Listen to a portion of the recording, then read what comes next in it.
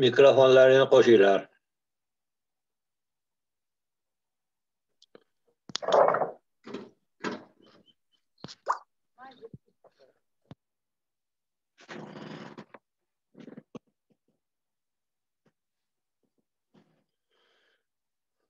Mikrofonlarini qo'shinglar ekran bilan. Hurmatli talabalar, mikrofon bilan ekranni qo'shinglar. Ha, Anvar, stroykada yuribsanmi?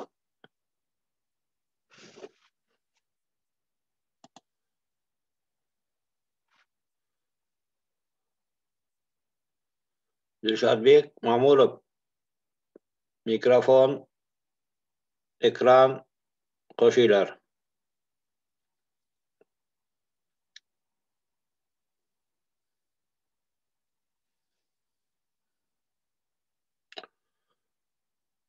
Qolgan talabalar kirmayapti-yu.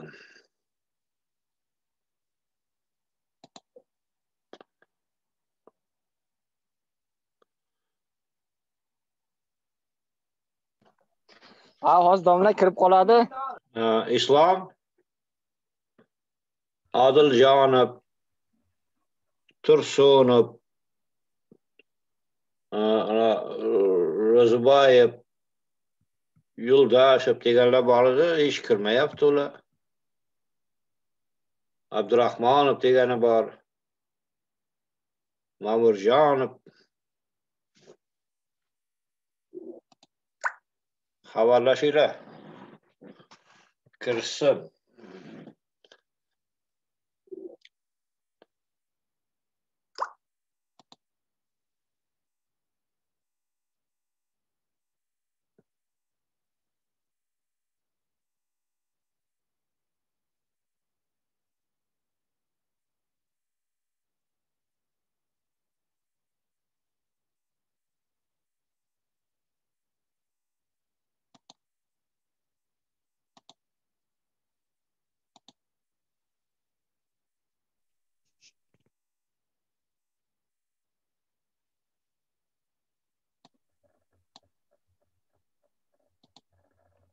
Mahmudov Kırptu, Mahmud Canım.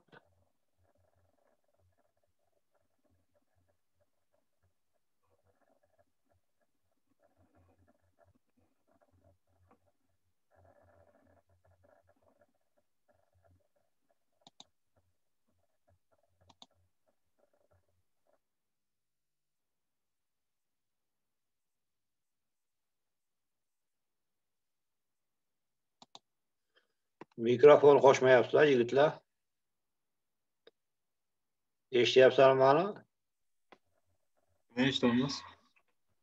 Qolganlarchi? Ular hozir ulamoqda manimcha. Ha, Pardayev Anvar qo'shdi. Так, bu kim ekan Zallo Jidaniyadagi? Mana Yusuf keldi domla. Ha? Yusuf keldi, mana bola ko'payyapti asta hozir. Qolganlarga ham yozdim gruppaga, kiradi hozir. Hozir 5 kishi kirdi.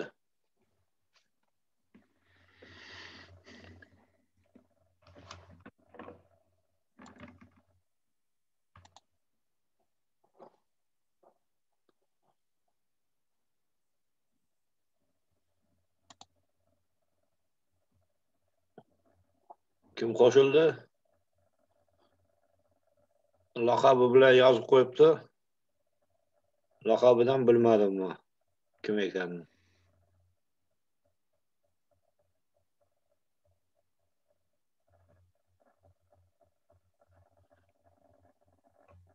Tak, endi boshlaymiz.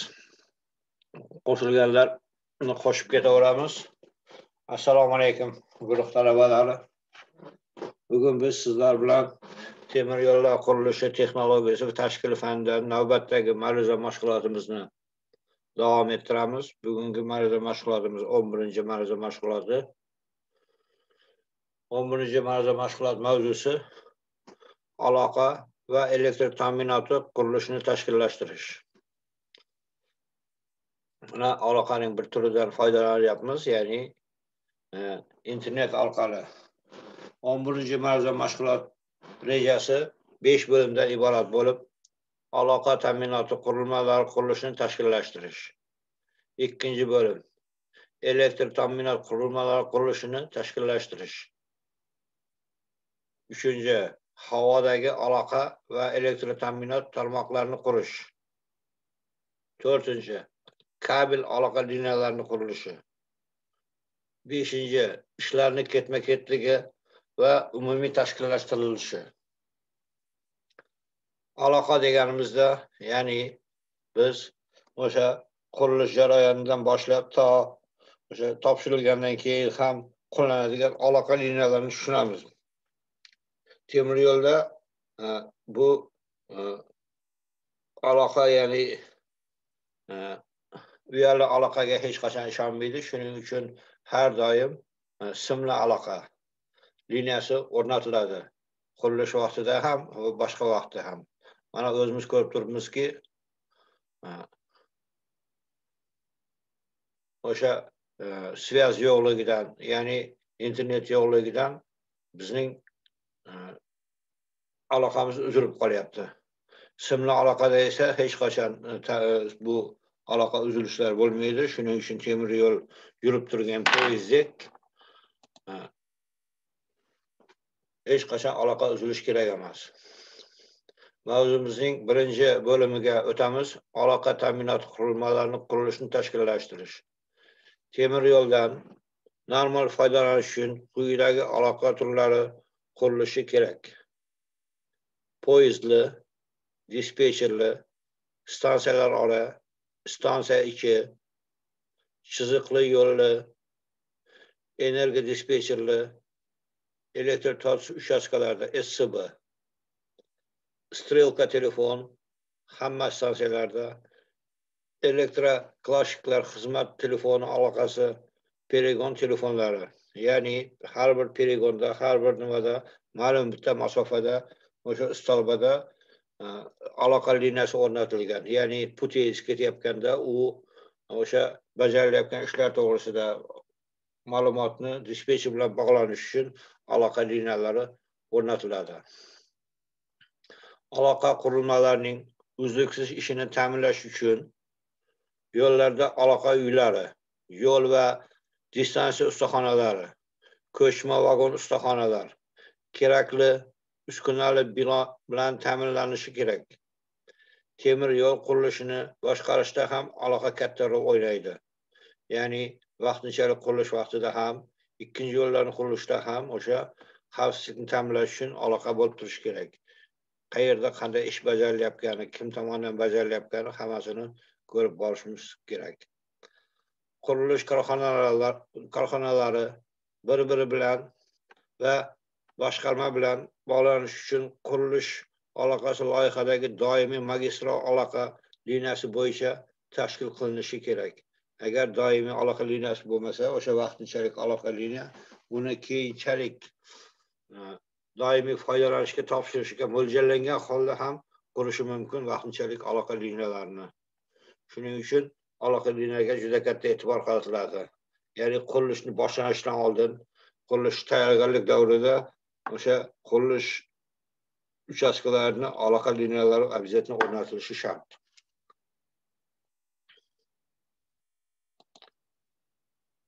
Mavzumizning ikkinchi bo'limi. Elektr ta'minot qurilmalari qurilishini tashkillashtirish ya'ni vaqtinchalik elektr ta'minot va doimiy foydalanishda qo'llaniladigan elektr ta'minot. Elektr ta'minot e, qurilmalari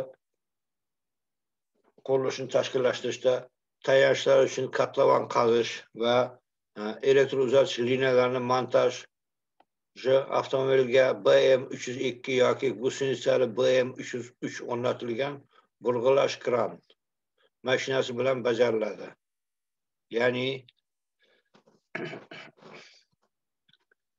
quriladigan temir yo'l atrofida aloqa liniyasining stolbalari o'rnatilib ularga aloqa simlari tortilishi shart. Bir vaqtning o'zida tayanchlarga ko'tarish hamda simlarni tortish uchun pmets uch yoki mshts 2M tipidagi montaj gidroko'targich tavsiya etiladi. Razvodka tirkamali avtomobillar yoki OKTS 200 tayanch tashigichi bilan amalga oshiriladi. Transheyalar qazish va kabelni o'tkazish KU 1502 kabel yotqizish yoki ETC 161 transheya ekskavatori bilan bajarilishi ko'zda tutiladi ya'ni temir yo'l bilan kesishgan joylarda o'tgan mavzuda aytib o'tdim gorizontal qazish mashinalari yordamida o'yma ko'tarmalarda e, ishlarni bajarish tavsiya etiladi elektrotexnika moslamalari uskunalarni montaj qilish ishlarini bajarishda qo'llanish me'yori va qoidalari uch nol besh nol olti to'qson yetti elektr texnik moslamalariga muvofiq ishlarni amalga oshirish va qabul qilib olish ishlariga amal qilishi zarur. Mana rasmda ko'ribmiz elektr ta'minoti uchun e, qo'llaniladigan e, istalbalar ya'ni e, ustunlarni to'g'risida gap ketyapti. Так boltayev asadov kiribdi. Elektr ta'minoti o'rnatilgan tayanchlar va yog'ochdan metalldan qilingan tayanchlar ya'ni to'g'ri uchastkalarda egri uchastkalarda qanday o'rnatilishi kerak? Hammasi rasmda keltirilgan.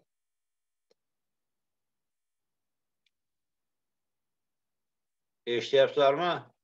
Ro'zmatov qo'shilmayapti mikrofoning. Eshityapmiz ustoz. Eshityapsizlarmi? Albatta kim qo'shilmoqchi o'n bitta odam o'nta odam qo'shilibdi darsingizga xalaqit bermaylik deb o'sha ovozga o'chirib qo'ydingiz azuljanov tursunaliyev tursunov shular kirmayapti yo'ldosh aliyev degani bor samiyev bor o'shalar hali kirmadi mavzuga keyingi mavzumizning uchinchi bo'limi. Havodagi aloqa aloqa va elektr ta'minot tarmoqlari qurish. Havoda deganimizda ya'ni salvaga osilgan simlar bilan. Aloqa qurilmalari ishlari kompleksi quyidagilardan iborat. Birinchi yig'ish bazalarida tayanchlarni yig'ish ya'ni o'sha uchastkaga kerak bo'lgan quriladigan temir yo'l uchastkasiga kerak bo'lgan Э, tayanchlar ya'ni oporalarni э, stalbalarni yig'ish. Ikkinchi havo liniyasi simlarini o'rnatish. Uchinchi aloqa uylarini qurish. To'rtinchi esa apparatlarni montaj qilish. Mana temir yo'lda ketayotganimizda yo'l chekkasida e, nikopat deb yozib qo'ygan stolbiklarni ko'ramiz. Bu degani o'sha joyda aloqa liniyasi kabellari elektr kabel montaj kabellari o'tgan bo'ladi. Undan tashqari kichkina kichkina uychalar ko'ramiz. Ya'ni aloqa liniyalarining o'sha e, uylari bo'lib hisoblanadi. Ularda har xil apparatlar o'sha aloqa liniyalarini e, ishlashi uchun mo'ljallangan apparatlar o'rnatilgan bo'ladi. Aloqa uylari va liniyalarni qurish shu ishlar kompleksida mehnatni eng ko'p sarf qiladigan ish hisoblanadi. Aytaylik e, yigirma besh kilometr temir yo'l quradigan bo'lsak yigirma besh kilometrga e, havodan o'tadigan elektr ta'minoti uchun agar to'rtta sim bo'lsa kamida yuz kilometr sim kerak bo'lar ekan. Xuddi shunaqa kabel aloqa kabeli aloqa kabeli o'rnatilganda bitta emas e, zapas bilan ya'ni keyinchalik ishlatish uchun kerak bo'lgan zapas bilan avariya holatni e, holatlarni e'tiborga olgan holda ikkita uchta kabel yotqiziladi. Aloqa liniyasini qurishda mehnatni eng ko'p sarf qiladigan ishlarga tayanchlarni traverslarga bilan ta'minlash va ularni o'rnatish ishlari yigirma besh foizni va simlarni traverslarga ko'tarish va tortish ishlari esa o'ttiz foizni tashkil qilar ekan. Kim qo'shildi yana?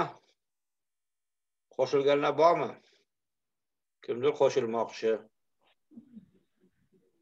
mani qo'shdingizmi ustoz kim man ro'zmat xaliqov ro'zmatov qo'shildimi ha man qo'shilganman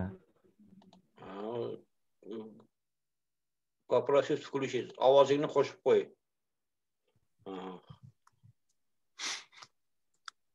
kabel aloqa liniyalari qurishi mana rasmda ko'rinib turibdiki kabel aloqa liniyalari bir nechta hozirgi chiqayotgan chinli tolali ya'ni kabellar o'rnatilmoqda o'sha kabellar aloqa ham keyin sb tuzilishi ya'ni o'sha dispetcherlar xonadan o'tirib strelkalarni o'tkazish svetoforlarni yoqish hammasi aloqa liniyalari o'sha aloqa liniyalariga kiradi bular simli tog'lar ya'ni chinli tog'lar deganimiz uning ichida sim yo'q. Hammasi chinda o'sha chinning mikro soch e, qilidek undan ham yupqa bo'lgan tog'lar o'tgan shu tog'lar orqali aloqa o'rnatiladi. Kabel aloqa liniyasini qurilishi asosiy ishlar kompleksiga quyidagilar kiradi. Trassani tiklash transheyani qozish kabelni yotqizish transheyani qayta to'ldirish kabel elektr o'lchamlarini montaj qilish kabel yotqizgichlarni qo'llanishda transheyani qozish kabelni yotqizish va transheyani qayta to'ldirish ishlari bir jarayonda biriktiriladi aytaylik o'sha kabel yotqizilganda ma'lum masofada temir yo'l uzida ma'lum bir masofada yotqiziladi va ma'lum chuqurlikda yotishi kerak. Kamida nol yetti metr chuqurlikda bo'lishi shart. Kabellar. Kabellarni yotqizishda uning tagiga to'shama ya'ni qumdan yumshoq qilib to'shama to'kiladi va kabel yotqizilgandan keyin uni himoya qilish uchun ustidan g'isht yoki beton plita e, yotqizilib chiqiladi sababi o'sha kimdir ekskavator ishini bajarayotganda agar o'shanaqa g'isht yoki plitaga duch kelsa u zudlik bilan ishni to'xtatadi. Hamma ekskavatorщикlar o'sha yer ishlarini bajarishda shunga katta e'tibor qaratadi. Agar qozish jarayonida o'sha nimada loyihada ko'rsatilgan kabellar ko'rsatilmay qolgan bo'lsa agar g'isht yoki plita kusogi chiqadigan bo'lsa ular zudlik bilan ishni to'xtatib shu yerni ko'zdan kechirib chiqadi. Sababi ular biladiki o'sha agar g'isht chiqib yoki o'sha nima chiqadigan bo'lsa himoya qatlami u yerda kabel o'tgani bo'lishi mumkin.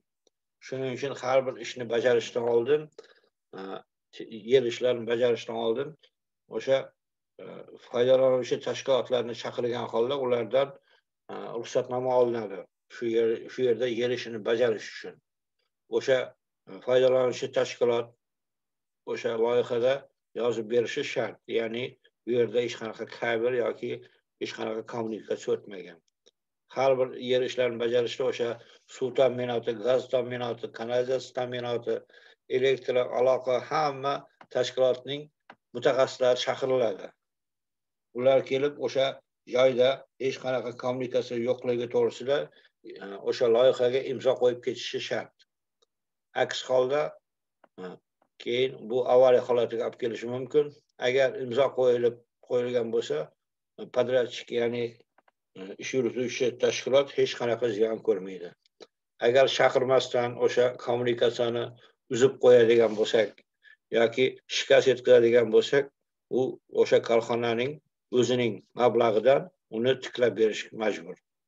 Va undan tashqari e, ma'lum miqdorda shtraf to'lashi ham mumkin. Avtomobil va temir yo'lda kabel o'tkazish uchun pnevmoproboynik yordamida yopiq usulda qo'llaniladi. Haligi o'tgan mavzuda ham aytdim boya e, boshida ham mavzuning boshida ham takrorlab o'tdim. Ya'ni temir yo'l kesilgan kesishgan joyda yoki avtomobil trassasi kesishgan joyda ya'ni gorizontal burg'ulash usuli bilan yopiq usulda qo'llash tavsiya etiladi.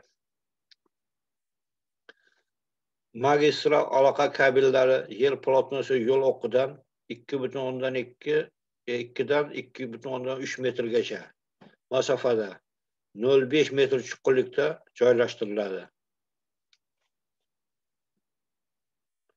Ba'zi bir hollarda o'sha e, piroslar deymiz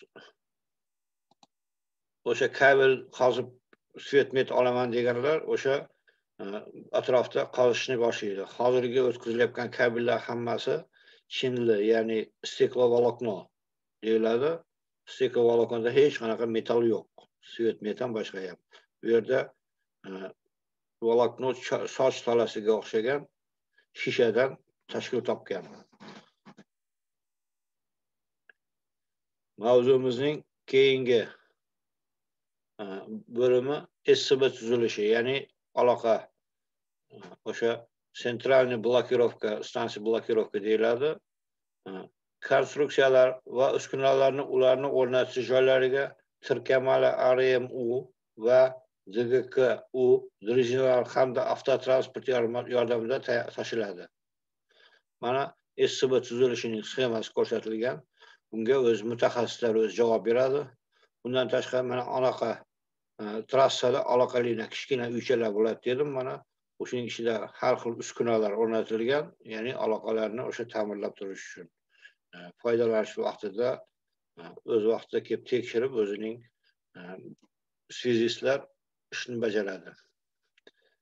Tayanch apparatlar uchun kotlovanlar kichik gabaritli kotlovan qazish mashinalari. Mtk bir yoki ko'sh hajmi nol besh metr kubga teng bo'lgan ekskavator bilan qaziladi kotlovanlar tuproq bilan buldozer yordamida to'ldiriladi. Yo'ldan ikki butun o'ndan sakkiz metr uzoq bo'lmagan masofada SSB kabeli uchun transheyalar temir yo'l izidan yuradigan TKS TKTS ikki transheya qazuvchi mashina yordamida qazish tavsiya etiladi. Mana yo'ldan ikki butun o'ndan sakkiz. Bu savollar o'sha e, test savollarida ham keltirilgan. Shuning uchun e'tibor berishingizni so'rayman. Yo'l o'qidan ikki butun o'ndan sakkiz metrdan uzoq masofada esa transheyalarda ETS ekskavator bilan ishlov beriladi. Mavjud kabel va boshqa yer osti kommunikatsiyalari o'tish joylarida transheyalar qo'l kuchi yordamida qaziladi.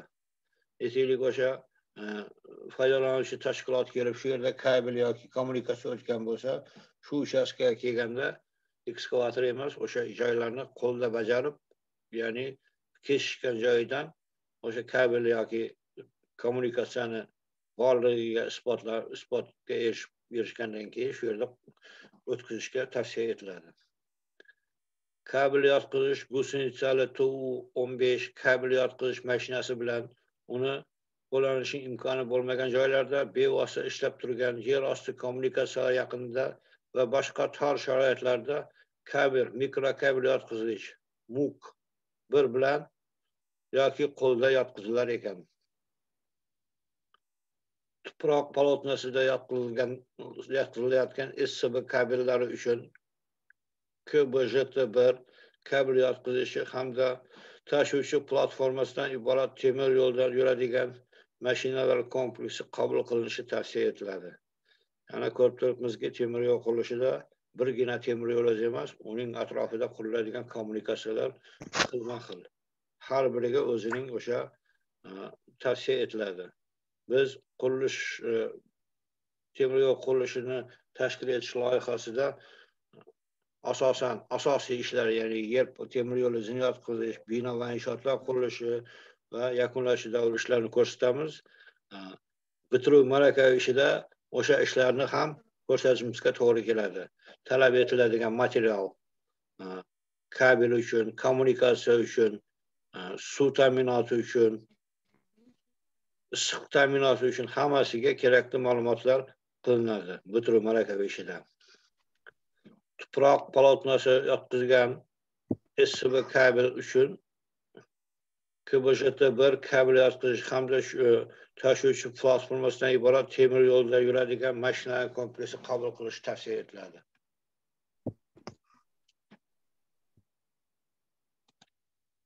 Mavzumizning beshinchi bo'limi ishlarning ketma ketligi va umumiy tashkillashtirilishi. Temir yo'l qurilishida aloqa qurilmalari qurilishi quyidagi tartibda bajarilar ekan. Birinchi navbatda qurilishga kerakli aloqa qurilmalarini qurish ya'ni vaqtinchalik o'sha qurilish vaqtida foydalanish uchun kerakli aloqa liniyalarini qurish. Ikkinchi navbatda qurilishga kerakli va temir yo'lni vaqtinchalik foydalanish davrida kerakli aloqa qurilmalari. Va uchinchi navbatda hamma aloqa qurilmalari loyiha ko'rsatilgan darajada to'la qurish loyihada ko'rsatilgan bo'yicha. Ba'zi bir hollarda o'sha doimiy foydalanishda qo'llaniladigan kabellarni vaqtinchalik ham qilib ishlatishi tavsiya etiladi. Ya'ni mablag'ni tejaydi. Ya'ni e, vaqtinchalik qurilgan kabellarni doimiy foydalanish uchun ham qo'llashi mumkin. Qurilish ishlarini parmalash kran mashina yordamida oqim usulida bajarishi surati ikki yarim kilometr smenaga yengil liniyalarda ikki kilometr smena normal va bir butun o'ndan olti kilometr usulli liniyalar tashkil qiladi.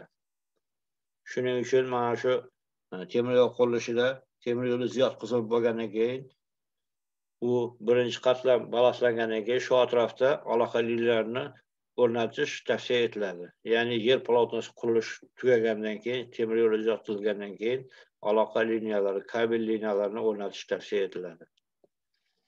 Yengil aloqa liniyalari bir kilometrga o'n oltita tayanchga ega. Tayanchlar oralig'i oltmish ikki yarim metr. Ya'ni bir kilometrga oltmish ikki yarim metr tayanch oralig'i qo'yiladi. Bu yengil aloqa liniyalari. Ya'ni ikkita to'rtta sim osilgan bo'lsa. Normal liniyalarda yigirma tayanch oralig'i ellik metr. Va kuchaytirilgan yigirma besh tayanch oralig'i qirq metrni tashkil qiladi. Mana shu savollar hammasi test savollarida bor. Undan tashqari endi bilmadim keyingi semestr o'qish qanday davom etadi. Agar an'anaviy bo'lsa bitiruv malakaviy ishlarini qilishga harakat qilamiz.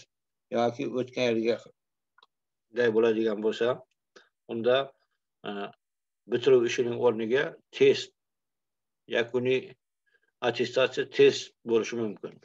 Testlarda ham o'sha savollar bo'ladi. O'tayotgan mavzulardagi har bir mavzudagi e, dan bitta ikkita test tushishi mumkin. Shuning uchun o'sha testlarga juda e'tibor berib kerak bo'lsa konspektlarda yozib to'ldirib o'zlaringga ma'lumotlarni saqlab qo'ysanglar maqsadga muvofiq bo'ladi. Ish surati ikki kilometr sutka bo'lishi uchun o'ttiz odamdan iborat kompleks brigada kerak bo'ladi. Ya'ni o'sha e, ish surati bir kunda ikki kilometrni qurmoqchi bo'lsak o'ttiz kishidan iborat brigada ishlash kerak. Bu brigadada haligi o'sha e, tayanchlarni o'rnatishni qoladigan mashina mexanizmlar tayanchlarni tashib keladigan mashina mexanizmlar tayanchlarni o'rnatadigan beton quyadigan ya'ni o'sha tayanchlarni o'rnatgandan keyin tagiga beton quyib qotirish kerak va orqama orqa yuradigan o'sha o'zining mustahkamlik darajasini olgandan keyin simlarni osish bo'yicha brigadalar ishni bajarishi kerak bo'ladi. Kompleks brigada quyidagi mashina va mexanizm bilan ta'minlanishi kerak. Ya'ni hozir aytib o'tdim avtokran parmalash kran mashinasi simlarni tarqatish raskatka deyiladi mashinasi uch uch yarim tonna un uchun mashina ya'ni yengil yuk tashish mashinasi yuk va yo'lovchi mashinasi. Sababi alohida temir yo'l aholi yashamaydigan joylarda qurilgani uchun ularni ishga olib borib kelish uchun mo'ljallangan odamlar uchun tashish uchun mashinalar avtopritsep ya'ni avtopritsep deganimiz o'sha aloqa liniyasining tayanchlarini tashish uchun tayanchlar bilamiz o'n bir o'n to'rt metr bo'lishi mumkin shuning uchun maxsus mashinada tashib yetkaziladi va ko'chma elektrostansiya ko'chma elektrostansiya har bir ishni bajarishda ko'chma elektrostansiya. Mana temir yo'l yer polotosini o'tgan safar kurs qilganimizda ham ko'chma elektrostansiya har bir brigada ko'chma elektrostansiyadan foydalanishi kerak. Ya'ni vaqtinchalik turar joyida oziq ovqat ya'ni o'sha vaqtinchalik elektr energiya kerak bo'ladi. Shuning uchun ko'chma elektr stansiyasini har bir brigada ta'minlangan bo'lishi kerak. Havo aloqa liniyalari uchun temir beton tayanchlari keng qo'llaniladi. Tayanchlar besh tonna avtokran yordamida o'rnatiladi.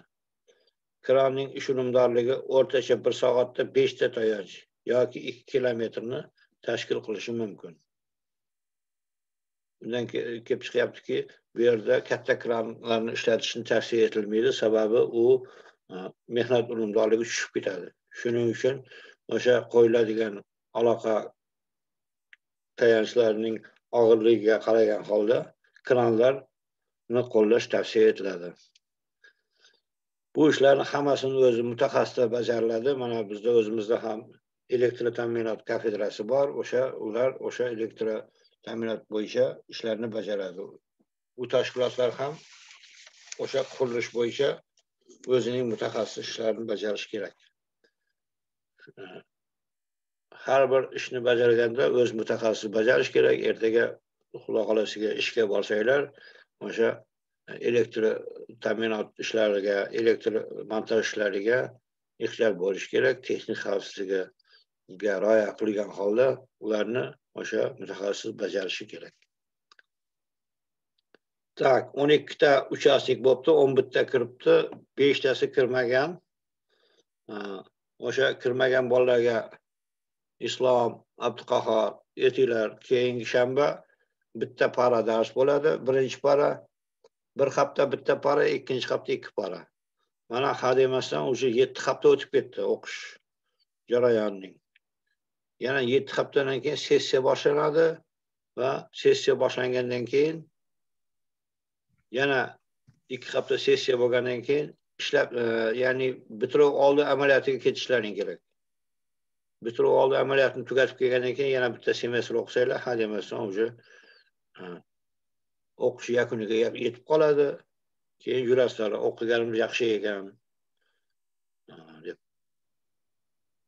shuning uchun yaxshilab mukammal o'rganishlarini so'rayman bugun senlarga yana bitta jadval yubordim o'sha baza bo'yicha har bir talaba o'zi to'g'risida ma'lumotni to'ldirib menga telegramda yuborsa man umumlashtirib topshiraman yaxshi. Mana aloqa liniyalari nazorat savollar. Elektr ta'minot qurilmasi qurilishini tashkillashtirish qatnay ketma ketlikda bajariladi. Hozir aytib chiqdi havo aloqa liniyalari qurilishini tashkillashtirish kabel aloqa liniyalari qurilishini tashkillashtirish to'g'risida gaplashib o'tdik. Mana bu katta podstansiyalarda o'sha tokni kelayotgan toklarni taqsimlab beruvchi podstansiyalar mavjud. Ularda har xil mana shu elementlar mana har xil qizil yashil ko'k e, elektr nimasida armatura deb hisoblanadi. Armatura. Elektr ta'minotining armaturalari. Armatura deganda biz e, narigi metallni tushunamiz a, bularda armatura deb o'sha ulagichlari ya'ni plastinkalari armatura deyiladi. Shu bilan bugungi mavzuga yakun yasasak kimda qanday savol bo'lsa marhamat beringlar. Mavzu bo'yicha mana elektr ta'minoti o'sha temir yo'l atrofidagi e, ham e, temir yo'lni elektrifikatsiyasi hamda atrofida har xil kommunikatsiyalar o'tgan. Ya'ni elektr ta'minoti kabellari va hokazolar. Bu e, elektr ta'minot bilasizlar nechi nechi kilovat bo'ladi temir yo'lda? Elektrifikatsiya qilingan yo'llarda yigirma uch ming? Uch mingmi? Yigirma yetti ming. Yigirma yetti ming kilovolt ikki ming yetti yuz. Volt bo'ladi. Man hali adashibmanda shuning uchun mana shu e, temir yo'lda yurganda ehtiyot bo'lish kerak. Mana bu yog'ingarchilik vaqtida boshqada ertaga rahbar bo'lasizlar o'sha liniyada ishlaysizlar kimdir puteyz kimdir qurilishda juda ehtiyot bo'lish kerak. Bu tok juda so'rab o'tirmaydi. Texnik xavfsizlarga rioya qilgan holda. Mana shu trassada ikkinchi yo'lda qurganda puteyz bo'lganlarda o'sha aloqa e, tayanchlarda ma'lum bitta masofada mikrofonlar o'rnatib qo'yilgan. Ya'ni e, dispetcher bilan stansiya dispetcheri bilan e, uchastka dispetcher bilan aloqaga chiqib turish uchun.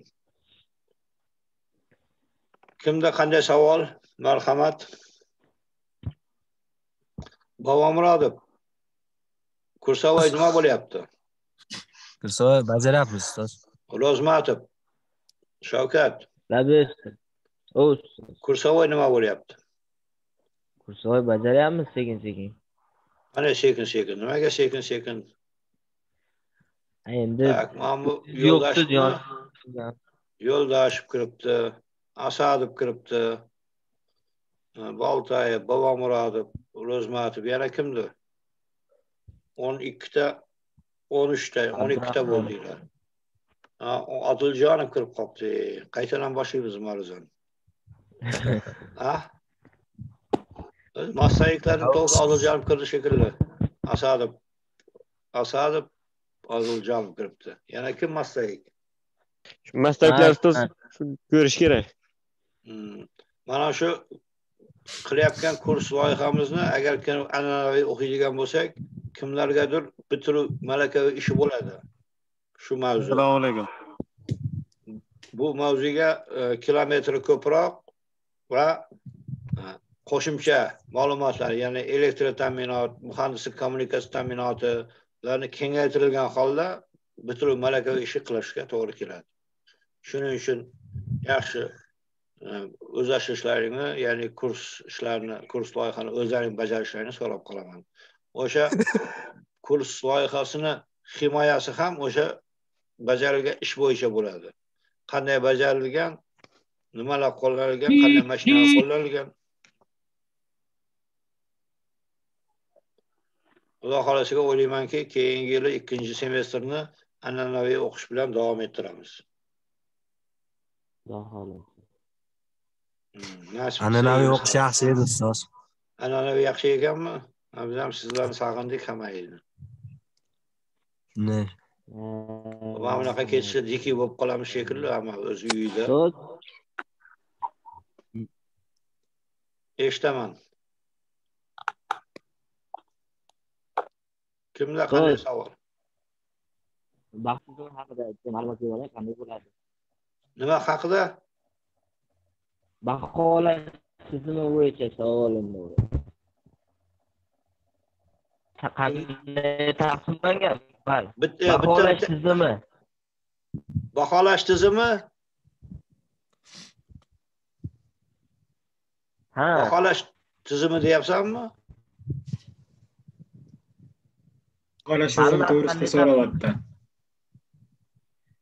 man tushunmadim savolingni Antina chiqmayapti связи yo'q ularda.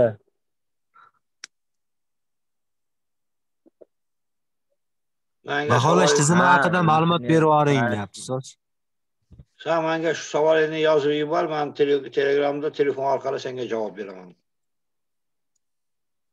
bo'ladimi shavkat sanmi savol bergan. Hop. Ha, ustoz Shavkat. ha menga shu savolni yozib yuborsang man senga o'sha savolingga javob yozib yuboraman. Ha, man. yoki telefonga menga qo'ng'iroq qil. Telefonimni bilasizlar Ha, bilamiz. kim bilmasa yozib olsin. To'qson to'qqiz sakkiz yuz ellik besh o'ttiz ikki o'ttiz to'rt.